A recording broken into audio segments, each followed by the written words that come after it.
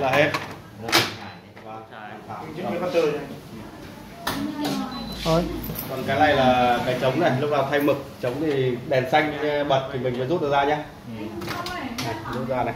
Rút ra nên đây là mình thay trống không thay trống thì không ờ, là rút ra như lúc đấy Ừ. còn mực thì đơn giản thôi. Mực thì anh quay đầu này. Mũi tên này vào đây này.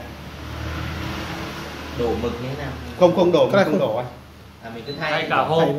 Đổ bẩn lắm. Hộp nó đáng bao tiền đây là cái hộp master nhé đây là mực này master này. Anh ấn vào đây này. Đèn xanh thì mình mới rút được ra. Đấy. Lúc nào mình thay bọn em sẽ gửi cho anh một cái cuộn như này. Mình thay thì như này. Cuộn như này. Đây là chip của nó này. Cái cuộn này nó có bán trên trên bọn em bán mà Ông tí phải lấy mực mấy cái này về chứ. Anh chỉ phải mua bộ, bộ dự phòng đấy. Hướng dẫn ông gửi lại tí thằng nào hướng dẫn ấy, gửi Ôi, lại cho cái này nhớ ngay mà có cái gì đâu. Cái này là có mặt bóng ấy chị này. Bóng ở đây nó có cái nguồn mực của Zippo này nó ấy không này? Có. có đây bọn em bán hết rồi. Cái đồ đã đồ Trung Quốc nhưng mà đã qua kiểm nghiệm.